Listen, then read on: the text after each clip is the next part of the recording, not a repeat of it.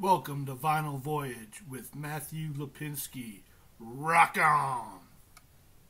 What up? Today we got Tesla, The Great Radio Controversy.